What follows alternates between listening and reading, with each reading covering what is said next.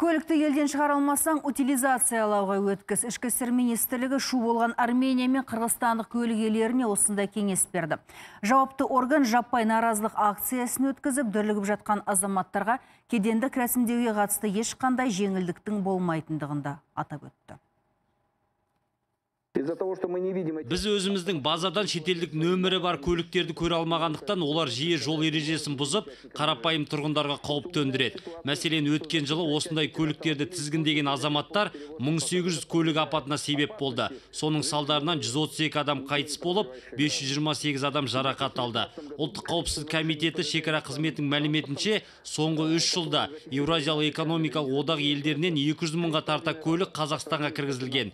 Бірақ оның 40 мыңы ғана заңды түрде тіркеліпті. Ішкі істер вице-министрі Марат Қожаев шетел нөмірі көліктердің қылмыс құралына да айналып бара жатқанын жеткізді. Қаскөйлер тіркеуде жоқ темір тұлпарларды сатып алып, жұмыс қойларын оп-оңай жүзеге асырады екен. Мәселен, өткен жыл осындай 400 қылмыс тіркелген.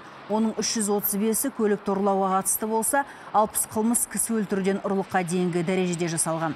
Сондай-ақ полиция Арменияға көлік алуға барып, алданған азаматтардан арыз түсіп жатқанын да мәлімдеді. Ал сауда және интеграция вице-министрі Жәнел Кушукова Арменияда тіркелген ондаған мың автокөліктің Қазақстанға қалайша кіріп кеткенін арнайы құрылған комиссия тексеретіндігін жеткізді. Оның сөзінше Армения үкіметі Еуразиялық экономикалық одақ талаптарын өрескел бұзып, өз міндеттемелерін орындамаған.